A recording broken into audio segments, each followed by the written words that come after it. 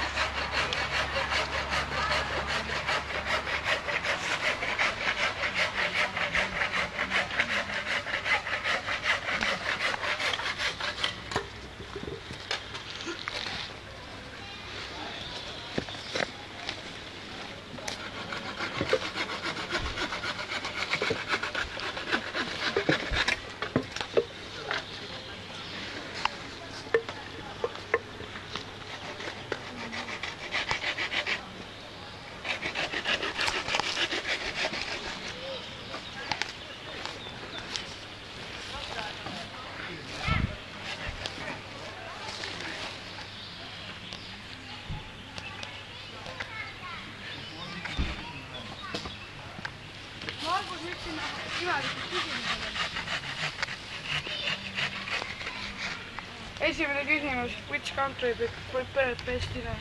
või selle aasta ära järgmine küsimus. Who is the most honest